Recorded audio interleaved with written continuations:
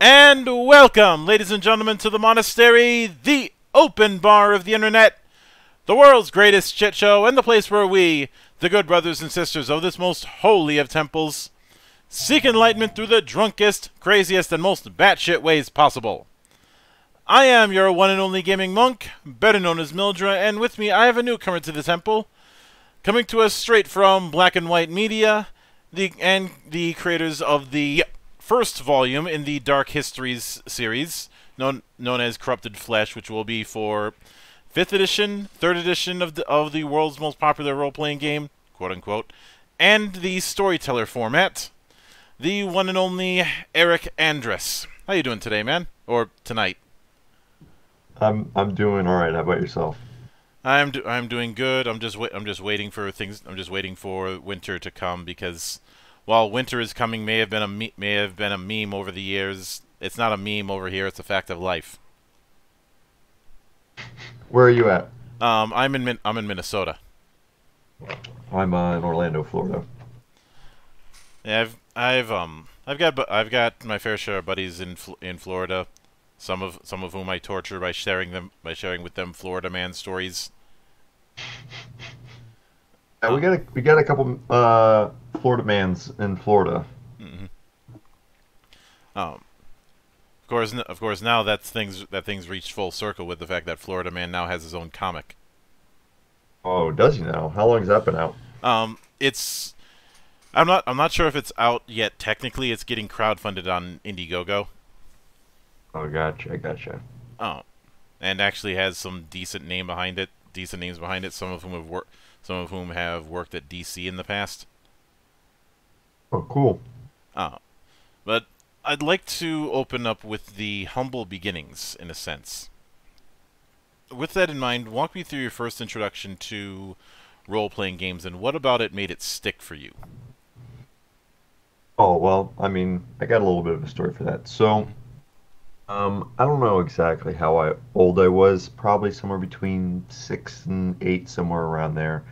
And I've got a significantly older brother, and he started playing second edition with his friends. Mm-hmm. and the artwork on the book just it was just so cool. I'd never seen anything like it.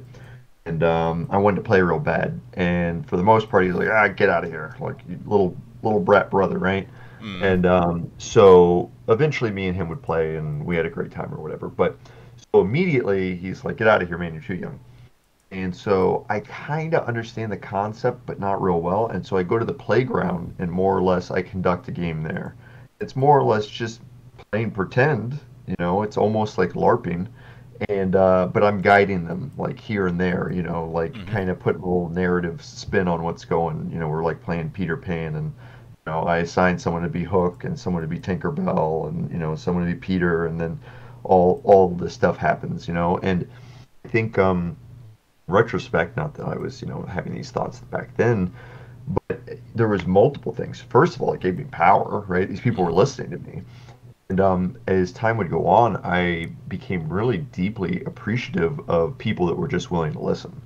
Like, Mhm. and um, you know, when when you can have a good rapport with that person, and then they're just willing to listen to you, to me, that's kind of intoxicating. You know, um, you get to be present, and then someone someone showing genuine interest in you, and uh, you know, that's at the heart of a good conversation or a, a good game, and it shows a lot of respect that a group of people that are gonna they're gonna get together and sit down and listen to what someone else has to say, and then they can have you know reciprocal interactions and it be interactive. So, um, back to to my story. So I started running these games, and I just I pretty much instantly fell in love. And anytime like I got a little snidbit about it, you know, I tell my friends and and about it. I just talk about it all the time or whatever.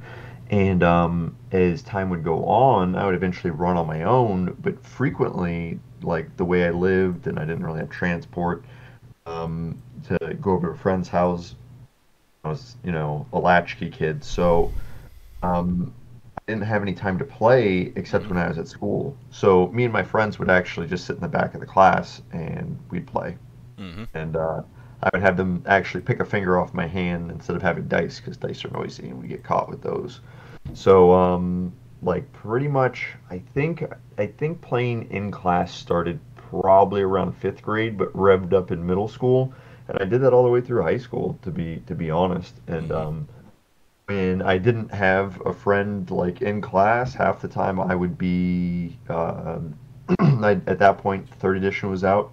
I pretty much memorized the, most of the player's handbook by heart, and uh, I would just like end up working on my campaigns or making characters or whatever. And um, I was just kind of fanatical about narrative as a whole.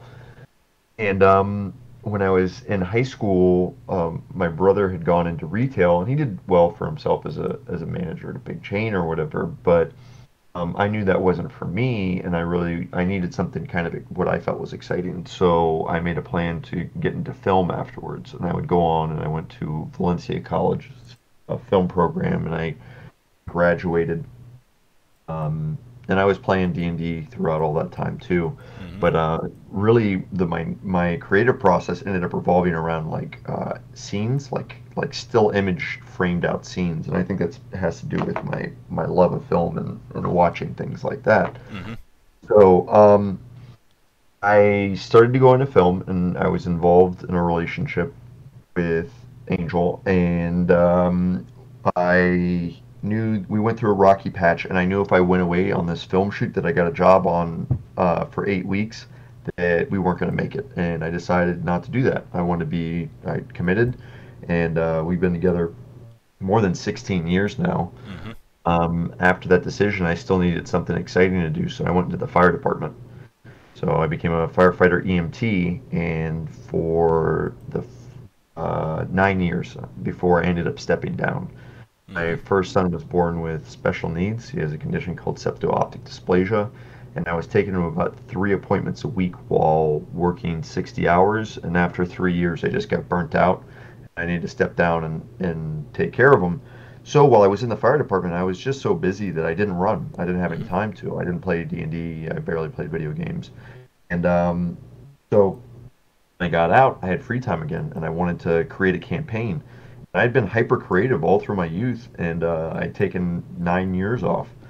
So when I started writing again, there was just an explosion of content. Like mm-hmm. I, I couldn't stop, like just non nonstop. And um, my favorite games from uh, second and third edition, it was Ravenloft, mm-hmm. two E and three E Ravenloft, and uh, I was just wild about it. And um, I remember I remember where I lost one of my D and D books. I was in seventh grade liberal arts class, and a uh, there was a girl in there that I thought was cute, and she was into like goth stuff, and she wanted to borrow the book, and it was uh, the main book for the original Strahd box set. Mm-hmm. And uh, Haley, I know you got it somewhere. You give it back to me. so we um uh, so uh, that was my favorite. And so mm-hmm. I had recently uh, read, in quotes, I um I listen to a lot of audiobooks. I'm really dyslexic, so I can mm-hmm. read, but it just takes me a long time. So I love love audiobooks. And um, Mary Shelley's Frankenstein was like perfect. You know, I I love that story, inspired by by Ravenloft. Like you know, they even got I don't know about five E, but in three they got an area that's that's like kind of Frankensteinish or whatever. Mm-hmm. And then I was like, all right, but I'm gonna rewrite everything. I'm gonna make it my own. And um, as I was rewriting it, uh, it wasn't working. So but there's some fundamental differences in the setting between Mary Shelley's Frankenstein and Ravenloft. Mm-hmm. Predominantly, that Ravenloft is a, a dark, a gloomy aesthetic over the whole world, right? So you mm-hmm. got your your big bad, and he's a you know dark, gloomy guy, and then you got uh, a bunch of dark, gloomy minions, and you got a bunch of dark, gloomy peasants, uh, more or less. And um, in Mary Shelley's Frankenstein, the world's actually very bright and it's kind of romantic and idealistic in in large part. And then there's these two really dark characters moving about in this world, causing a lot of destruction in their behavior. And one thing that's really interesting about those those uh, Frankenstein and the monster is they both have deep-seated human motivations for doing what they're doing. So you can empathize with this uh, either character, if you want to look at either one as an antagonist, despite the fact that they've done terrible, terrible things. And it's not that you justify their bad behavior, but it's like, oh my, I, I feel where you're coming from, even if I can't get down on that, you know. Mm-hmm. and uh, that's how that's how I wanted to write my my villains was was like that. So I wanted, you know, if it's uh, to me, what gothic horror is more than any kind of visual overlay, um, though you can you can apply one. Um, is it's an intermingling of romance and and terror, you know, like real horror. And when I say romance, like that might be like, and you know, what we say in a romantic sense, you know, coupling that sort of thing. But um, when I say it, I mean in a broader sense, including that. That can be in it for sure. But it's like having high-minded ideals, or or thinking the world's a bright, beautiful place, and that being juxtaposed to horror elements, I think makes for a fantastic um, genre of story because there's so much contrast going on there. So, um, and also in uh, Frankenstein, there's this this issue of the modern man and invention, and um, moving towards you know Frankenstein technology, and um, you know Prometheus he brings fi- in the original mythology, Prometheus brings fire to man, but ultimately what happens to Prometheus is that he's eternally tortured. And Mary Shelley's book is The Modern Prometheus, or Frankenstein, is the original title of the book. It's you know there's a good reason for doing these things, but it could it could be the end, right? And it's technological, and that can be applied to many things. Um, you know, be it the atomic bomb, right? The atomic bomb is either the, the solution of all to all our problems, or it destroys us all. Like it, it there's a, a fine line, you know, and with recent events in the world, there's other things that are coming up. It's like, you know, is this technology being used right, and is it, um, is it, it could it be the destruction of all of us? And I think that it, it, it could be, and that's why it's a it's an interesting story to explore. So, in Corrupted Flesh, I've got a Frankenstein-like figure, and he's tortured, and he's got these reasons for doing exactly what he's doing and he, um, he's trying to to cure death. He doesn't want people to die anymore because he doesn't he doesn't want others to have to suffer through that, and he mm-hmm. has his own reasons for it, which will be revealed in the game. And so um, he keeps trying multiple iterations rather than one process, and each time he makes a new and terrifying monster, but mm-hmm he doesn't really have time to deal with it because he's got his own baggage and he's trying to, to fix his baggage. So the underlying theme throughout a lot of the adventures is that the the road to hell is paved with good intentions, and I think that that is uh, part of what makes both the Doctor or the monster and Mary Shelley's story kind of, interesting. Is they start off with really good intentions and you know, when when that goes awry, you you're able to kind of follow them on that journey. Mm-hmm. Now, the corrupted hit the corrupted his sorry corrupted flesh. Um, the, pro- the problem when I end, end up having to end up having to juggle two names at once. Um, corrupted flesh and the and just this whole thing in general is strongly rooted in gothic horror as we've as you've discussed. Hmm. What was your introduction to the concept of gothic horror? Was it was was it was it old renditions of Frankenstein, or were, was there a different path? Well, no. So I'll, I'll give you my input on it. So, and uh, I think it kind of depends on what you define as gothic horror. Some people would, I think, define it very narrowly, and others broad. So, um, one thing that stands out to me is Hellraiser. I think the first Hellraiser movie and the story, The Hellbound Heart, mm-hmm. be classified as, as gothic horror, and it's because of this intermingling of like uh, romance and sex, and they're playing in that space and the dangers of it. Mm-hmm. Um, so, but I watched a ton of movies. I watched a lot of TV as a kid, and um, just I remember growing up, and I don't know if things are, are any different now. Uh, can you hear me? Oh, I, I can hear you. Didn't know if my, my computer cut out there for a second. I'm sorry. So I watched a ton of movies, and they just showed a ton of movies on TV. So I saw you know different versions of Dracula, and I saw you know different versions of Frankenstein, um, and Hell Hellraiser on TV, and um, the, uh, I think I would imagine my first experience would be to to film adaptations of gothic horror uh, stories.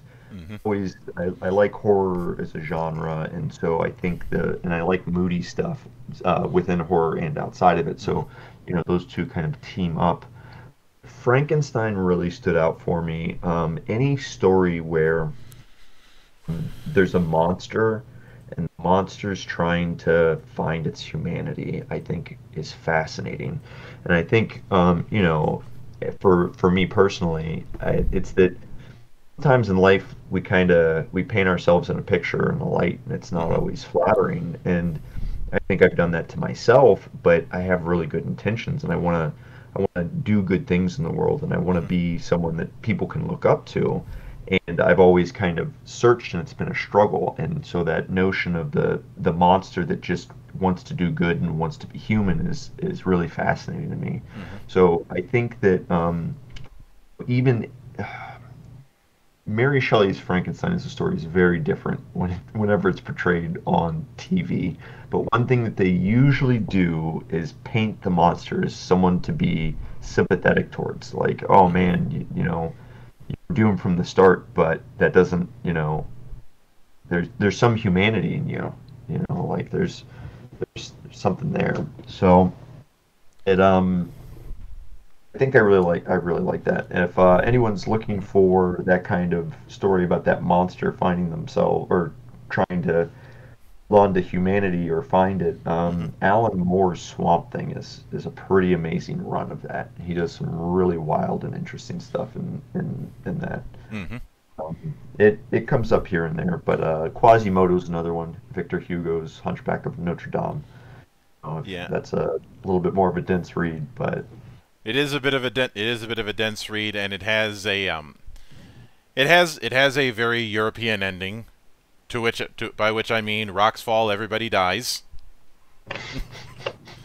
um, which spoiler is, is um 250 year spoiler alert. Um, I think I think when I think when there's that I usually have a I usually have a rule that the statute of spoiler limitations is um is what is one to five years. Um, one to five hundred. Look, one, look. Once you get into the once you get into the centuries difference, I think I think the statute is passed.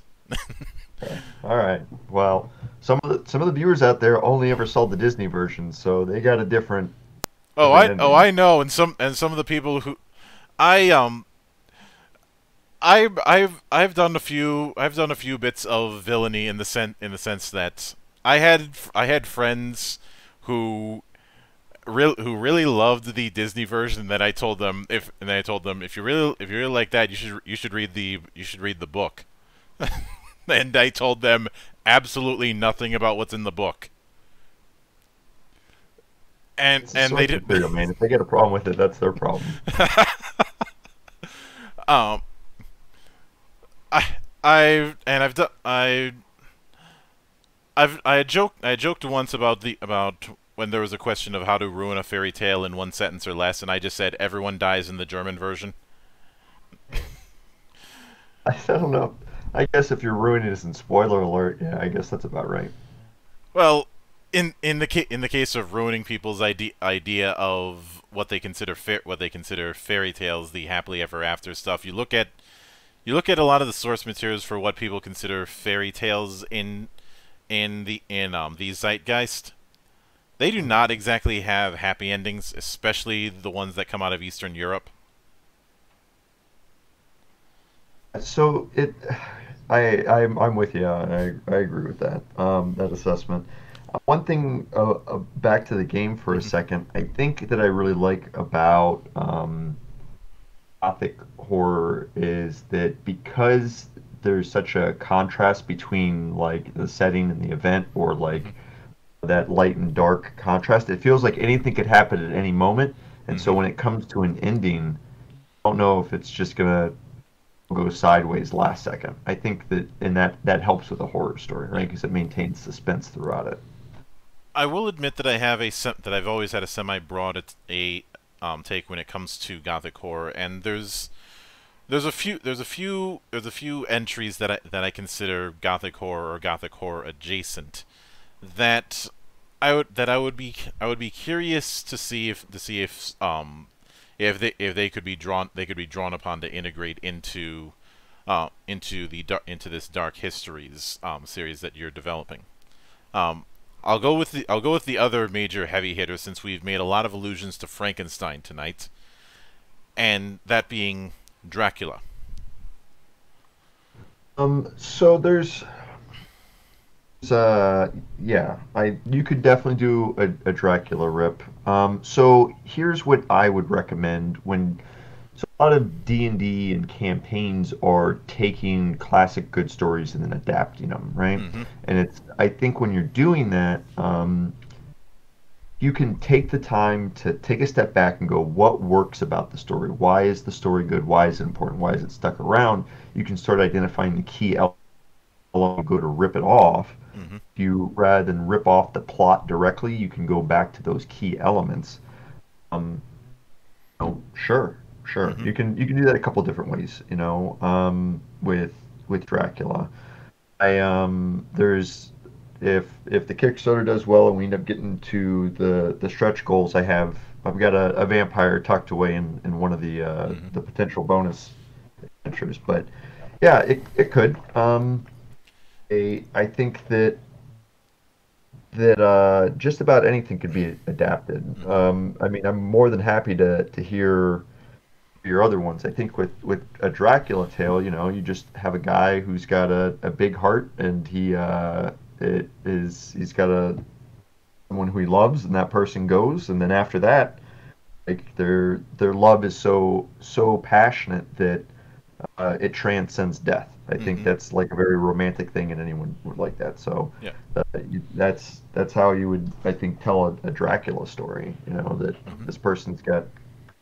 to to resolve that that love, and it's it's gone bad. The milk's gone sour as far as that goes. hmm Um, I don't know if we could take a sidebar just for a second. One thing that I found really interesting is uh, I was listening to a lecture about um, modern media, and Dracula came up, and I think it was like an Oxford professor talking, and he was talking about how um, Dracula is the ultimate bad boy.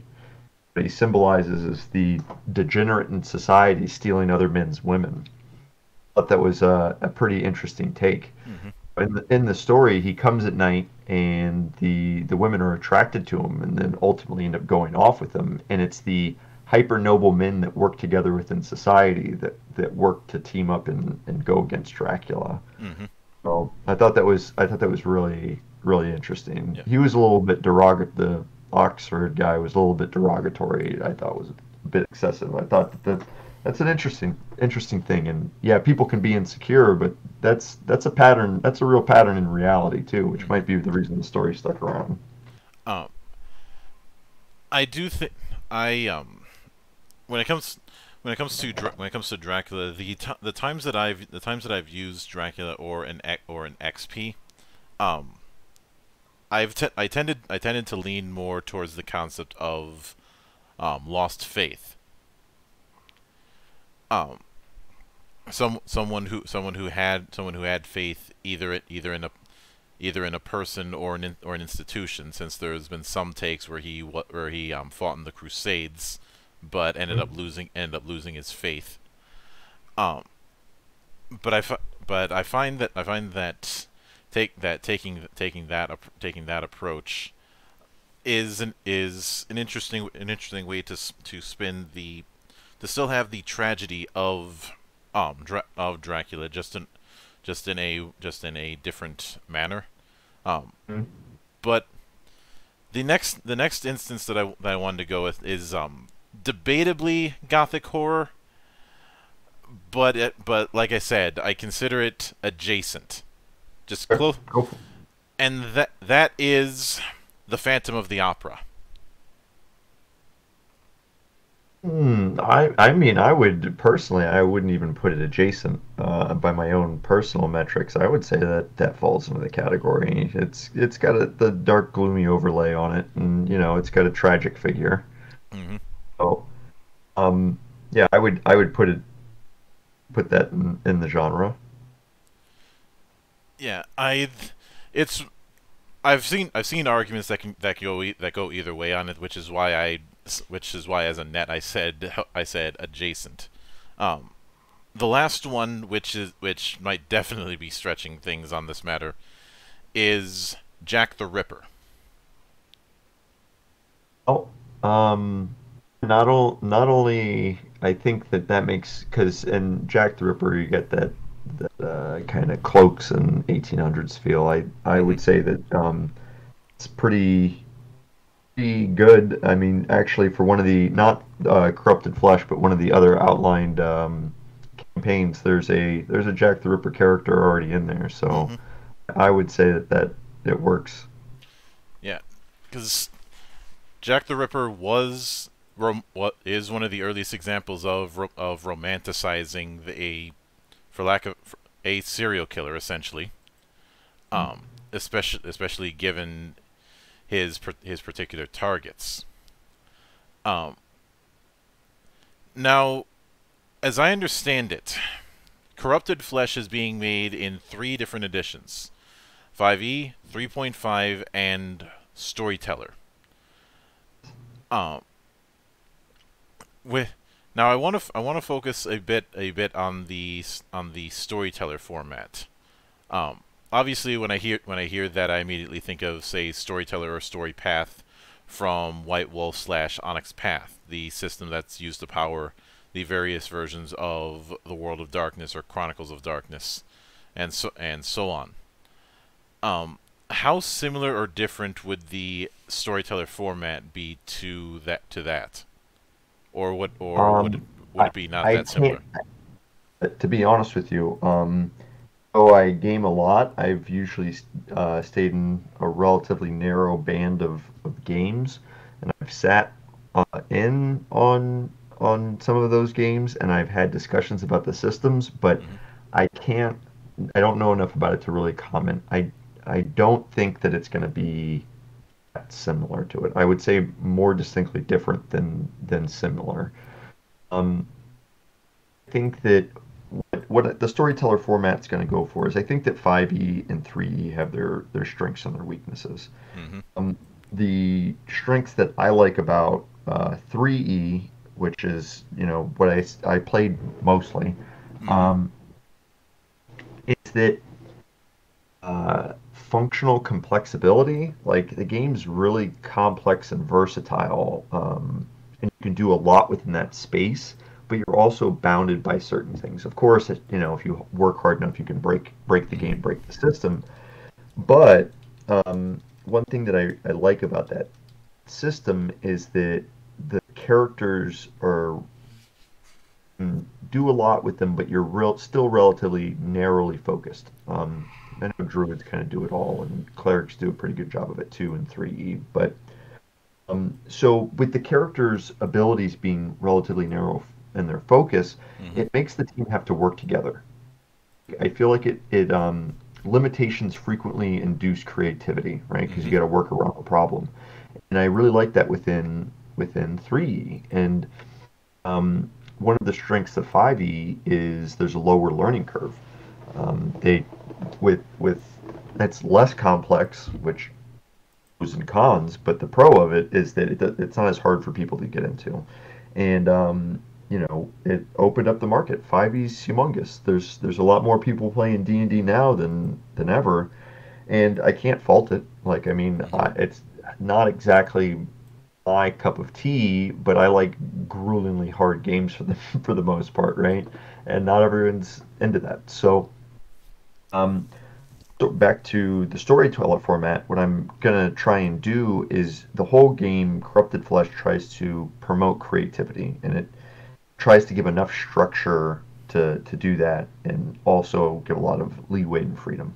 hmm So I I want it to be the the goal of the the system is to have a relatively simplistic character creation process that still has enough um, variation for those that seek it to make their characters very customized. Mm-hmm. And then to have a combat system in which the um, game isn't bogged down. Because I think that's one thing about 3E is depending on the, the group, combat could take incredibly long time. Um, and I don't see that as a strength or a weakness unless you try to scale it. Because if you go scale, the market's not going to want want that. Sometimes I want a game when I'm playing, I want combat to be easy and going, and then other times it's like, well, we there's no room for errors because I want that that challenge. And so, mm-hmm. Um, I, I I want the game to be about the the storytelling, and I don't want it to get bogged down by anything. So ease of play is really a, a big big focus on that. Mm-hmm. And um, so the mechanics are going to try to be very streamlined. And then when it comes to character creation, uh, custom ability is, is like the number one focus for me. Uh, though don't don't expect to to have um, be a superhero like in mm-hmm. Traditional 5e games. Oh yeah.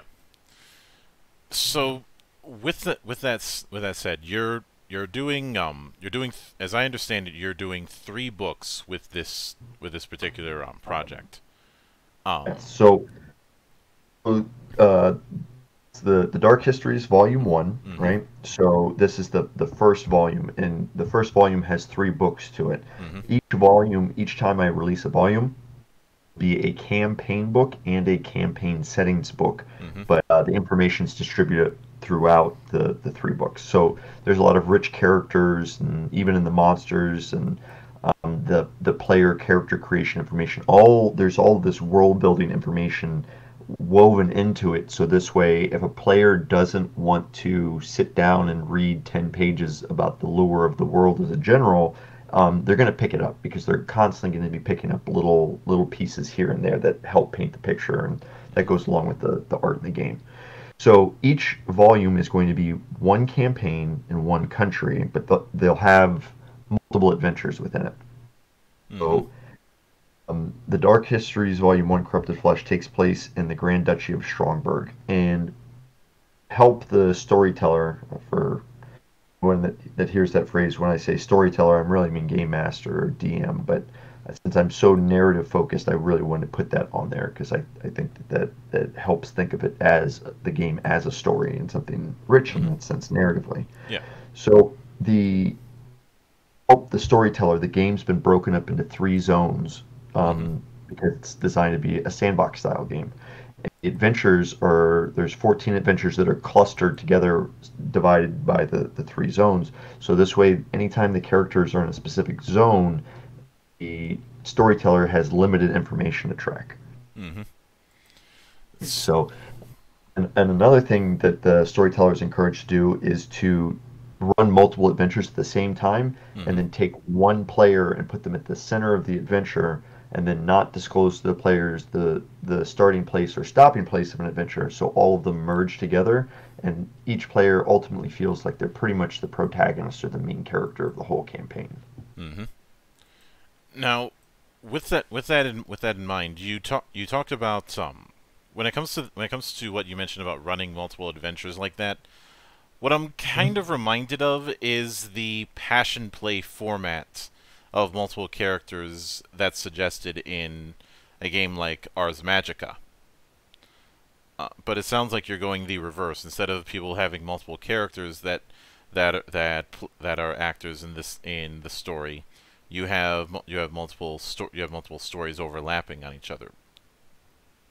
That's yes, correct. So there's the out of the 14 adventures, there's overlapping NPCs. So this way, it becomes easy for the the storyteller to inter interweave these uh, these bits, and also it creates uh, ease creating hooks for the adventures as well.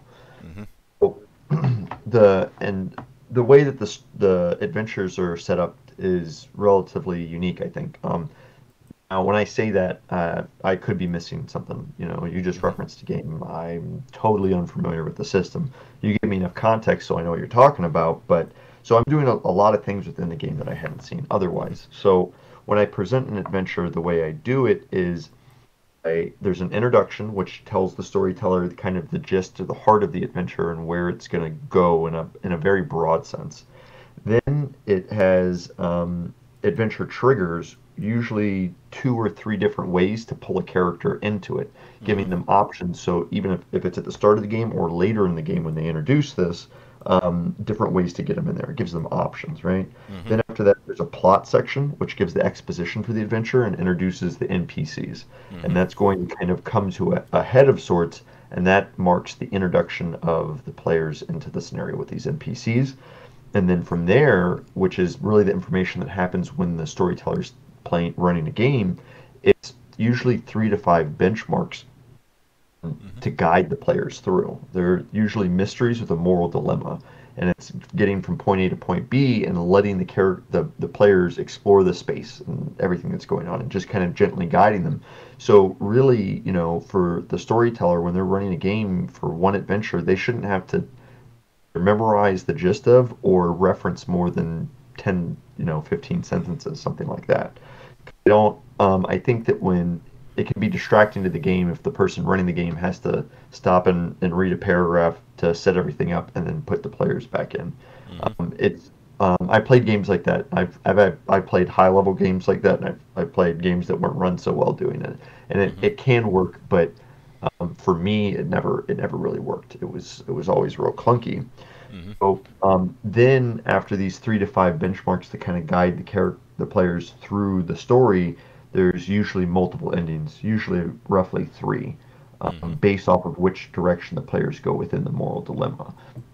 And all of this stuff um, usually has lasting consequences, but it's really encouraged for the storyteller to uh, run it however they want. You want the players to go off the rails, or you want to change what the moral dilemma is, or you know whatever um, it's your story and you need to connect with your players. And then also another tool that's that's put into each adventure is the horror scale. Mm-hmm. And the horror scale, it it's pretty much going to allow the person running the game. It's going to give suggestions to them and how to tone down or rev up the horror elements. So you want a PG-13 game, you got a soft audience or a younger audience, and you think that that's going to better connect with them, or that's just where you're comfortable. Run a PG-13 game. You know, you want something. You got you know big horror fans and they want it they want it terrible make make an nc-17 game and it'll have suggestions and and what areas you can lean into to to better connect with your audience mm-hmm. now speaking speaking of that i think i think that's a that's a perfect spot to segue into the other into one of the other major books in the in this trilogy that being the protagonist handbook which i'd say i'd say is going to be the um pri- the prime um, player facing end end of the end of the scenario. Yes, so that's going to be pretty much everything the, the players are going to interface with. Um, mm-hmm. If they're playing for 5e or 3, you know, there's the core books, um, but if, you know, just on their end. And so the the storyteller guide and the protagonist handbook have different information in them um, mm-hmm. regarding both setting, but um, other things like game mechanics too. So most of a good amount of the spells are going to be have different information to help maintain suspense throughout the game. Mm-hmm. As an example, the spell Create Ally um, tells the player that they're going to summon a familiar face to aid them.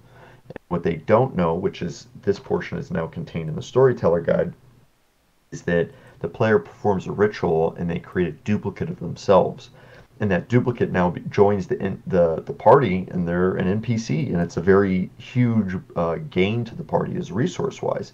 And they appear to be just like the player. They're mm-hmm. they're very similar, you know, and things are great and copacetic, and they they help the team out a lot. Then once the the player gets to a moral dilemma and they choose to go one way or the other, then the dupl- the double goes, oh, I can't stand for that, and then. Mm-hmm goes a separate way, or at least this is how it's suggested in the player's. Uh, I'm sorry, the storyteller guide. Mm-hmm. And at, at that point, the storyteller can decide that, you know, I'm more or less getting rid of the spell, I'm breaking this character out, or they can turn it into a reoccurring villain for the group, you know, and then that by it being a double of one of the players in the group, and by having them have a relationship with this double, now becomes a villain created in the game that was designed by one of the players, and that's going to increase, you know, uh, player engagement.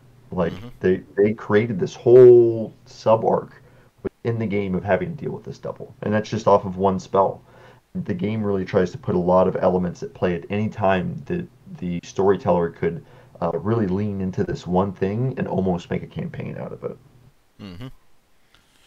Now, in the in the bullet points on the on the um protagonist handbook, it brings up that there that there's five original five original classes within within it. I'd like to I'd like to go into a sampling of those classes and what they're going to be bringing to the table. Um, sh- sure, and uh, don't let me forget to bring up the the character archetypes mm-hmm. af- afterwards. So, um, the setting for corrupted flesh. Um, each country is going to be uh, be different to give each campaign a, a, different feel, even though it's in a unified world. Mm-hmm. And Corrupted Flesh is more or less a Georgian pre-Victorian, right before uh, Victorian era. So it's like early 1800s, and that's a little bit of a different feel than uh, your traditional 5e setting. So uh, there's been some some classes that reflect that. Mm-hmm. Um, there's going to be um, pugilist class, which mm-hmm. is going to be a modified monk. Um, they're going to fight with their hands. The setting is low, lower fantasy than you would expect to see in your average D and D game. Mm-hmm. And so the one thing that's really valuable about that is the person doesn't rely on on items to get their job done. You know, they they fight with their hands. Mm-hmm. And um, then there's going to be a uh, real tough and, and grizzled kind of ranger type class called Bergmanner or Mountain Man or Mountain Folk, mm-hmm. where they uh, they specialize in using firearms and they're pretty much a survivalist. Um, in the the setting Strongburg, the the people are kind of inspired by enlightenment values and society is very highly ordered and every once in a while there's someone who it's just not it's not working out. Staying in your cubicle and working all day just isn't isn't working for them and they got to go off in the mountains and they got to be by themselves and they mm-hmm. usually pretty grizzled. So um, you know and that's a, a class that's like a perfect place to step in to exploit the fact that the world has guns. It, it mm-hmm. has you know black powder powder weapons. So um, yeah. That's like a nice little flavor thing for for players, um, depending on if they're used to playing high fantasy mm-hmm. games. So I think I think it's becoming more and more popular to to introduce firearms. um, another one is there's going to be a specialist class where it's kind of like a rogue, but they're actually really terrible at combat, and uh, their ability, their skill-based abilities are further along than a rogue, and their place within the group is that they they learn things, and the adventures are mysteries, and some of these monsters. Um, a lot of the monsters, it's a horror setting, so there has to be a big power differential between the monster and the player for the monster to be scary, right? So the players are going to have to either discover their, their weakness or figure out a real creative way to, to beat them. And that um, that character is going to have an advantage in that in that way, though they're you know not going to be know, a mob of of uh, you know brutes by themselves or anything like that. Mm-hmm. Now, when it com- now since you brought it up, this would be an opportune time to talk about archetypes. And when when I end up hearing archetypes when whenever there's a 5e like discussion, the temptation is always there to that ar- that archetypes are are going to be subclasses. Is that the case, or is that not, or is that not quite accurate? Um, the that's I would say that's not accurate. So the archetypes uh, can kind of dictate a class, just because um, it's class it's the person's skill set, and the archetypes help define the character by motivation, right? So if they're motivated to do something, that might that might make them, you know, pick a, a specific class because they're going to be way better at it. So, as an example, one of the the archetypes is the fanatical scientist. Mm-hmm. You know, archetypes are patterns that keep repeating over and over again, and even if the players don't know what an archetype is, they know this because they've seen it in, in depictions in their culture and media. So the fanatical scientist is this un, unbalanced individual mm-hmm. that, um, really throws themselves at this one thing and they're really exceptional about it but they're you know like i said fanatical and they they need someone else around them that's going to keep them really grounded mm-hmm. and so they to to make sure they don't you know break loose with their their bearings or from their moorings like they gotta they gotta have that sidekick more or less to mm-hmm. to put a point him in the right direction. So um, under the character archetypes, you know, you, there's a short introduction into like this kind of behavior, and then there's a, another short section that gives them examples. So for that character archetype, you know, it's Doc Brown from Back to the Future with Marty, and it's Rick from it's Rick and Morty, um, you know, or uh, Dr. Otto von Lichtenbrook from Journey to the Center of the Earth, and I know it's it's not super popular, but it's it is one of the inspirations for Corrupted Flesh. Um, um, Rick Yancey's The Monstrumologist series. Uh, the, the one of the main characters in that is pretty much bipolar, and if you look at these these characters, they're they're all doing it kind of a different way. You know, Doc Brown's optimistic and um, little absent-minded and a little weird, and uh, Rick is jaded, and and um, the other monstrumologist, he just wants to, you know, be the, the smartest or, or whatever, but he's he's just all over the place emotionally. There's different ways to um, play these characters, and they can be very diverse, even though they have the same motivation. So it's um, just one way to help guide the player, and if they can preconceive their their character during character creation, they'll be less likely to stop and go, "What would my character do in this situation?" They kind of already get this compass. Mm-hmm. And, uh, that also helps out during those moral dilemmas if the, the player wants to go, hey, I, I want to stay deep in character when I'm making this decision. So this is it's just going to be one more tool for them to pick up. And the character archetypes, it's not a firm mechanic. It's just something that the, the player can decide to adopt or not during the character creation process. Mm-hmm. And each each archetype will have a pre-made character. So because some players they're not really big on character creation, mm-hmm. and so it will have a pre-made, and characters can pick the pre-made as is, or modify it, or you know just go. Well, I'm going to use the archetype, but I really got these little couple things I want to throw in, mm-hmm. and so I don't use the pre-made. I want to do it this way, and that's going to enhance. Like the more the, the player can make decisions, the more ownership they're taking of the game, and as long as that doesn't conflict with the storyteller, like it's going to enhance engagement for both parties. Mm-hmm. Now, with now with that with that said, the third um the third book in this in this trilogy is the Encyclopedia Monstrosica, and would it be fair of me to say that this is primarily primarily a GM reference as well as a, for lack of a better term, monster manual? So, um, if anybody paying attention might notice that there's these three books mirror that of Dungeons and Dragons core core books, right? You have your DM's guide, you get your your player's handbook, and you got your monster manual. These are companion books to to those uh, core book resources if it's a 5e or 3 edition book. Mm-hmm. But if it's a storyteller format, it'll have it's going to be longer in page length, and it's going to have uh, uh, its own original system nested in it. So it is the core books mm-hmm. if it's the original a storyteller format, and for the other two, there'll be companion books to the core book set. Yeah. And since um since since you since you want to give a degree of detail to each to each of them, I'm guessing that um, an individual entry will have the stat block, have a description of it, um, as well as as well as some of its um, tactics and behaviors that it prefers. Yes. So um, I real big on. Um, I think that combat in in storytelling, be it moving movies or TV or um, a book or you know a game like a tabletop RPG, the combat should help paint the picture of the world and it should enhance the story. So when making the the Encyclopedia Monstrosica, I really like to have a big focus on behavior of the enemy because I help I think it um, is a perfect way to enhance whatever's going on narratively.